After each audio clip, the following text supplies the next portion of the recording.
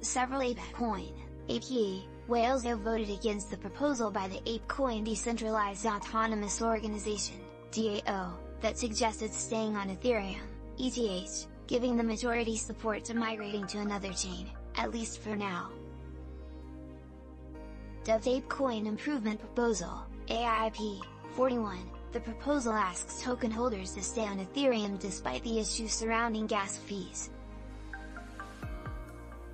However, at least three ape coin whales who have submitted their ballots so far have voted against the proposal, each submitting a 404, 000, Ape 153, 000, and Ape 151, 000, respectively, out of the supply of Ape 1 billion.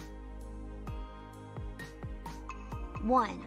With Ape 150, 000, voted in favor of the proposal.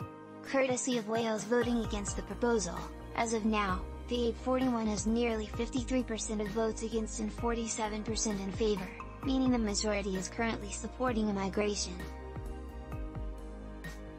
The voting started on June 3 and will continue until June 9. Notably, during the early days of voting, an overwhelming number of voters were in favor of the proposal. Submitted on May 1 by ApeCoin DAO member Racing, the proposal states that migrating to a different chain is a costly, risky, and complex endeavor with many moving parts that may, if not thoughtfully considered, result in catastrophic loss, or at worst, abandonment by, project creator, Yuga Labs No. We'd like to encourage the DAO to start thinking in this direction. Meanwhile, a look at the comments by the community on the forum suggests that the bulk majority of users support staying on Ethereum. I highly agree with your sentiment that we should not migrate from the Ethereum chain as that give. Meanwhile, other users also noted that the project can use layer 2 solutions for scaling purposes.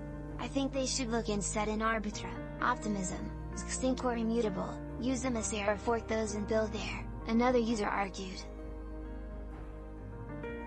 At 952 UTC, the 39th coin by market capitalization, Ape, is 5.